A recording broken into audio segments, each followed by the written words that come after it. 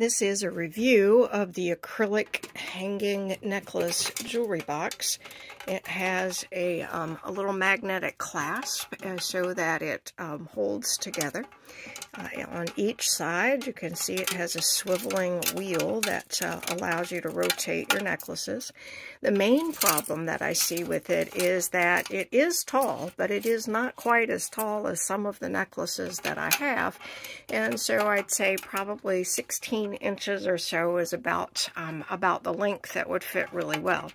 That said, you can always, um, depending on the quality of the jewelry, um, just put them inside and just know that they may um, swing around a little bit or get twisted on the post. So you just uh, turn the wheel back the other way.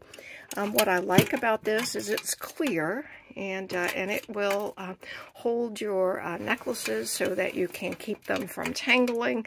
Um, they're not laid down in a box, and uh, and it's a handy piece to uh, to keep your jewelry in. I look forward to using it. I give it a four out of five.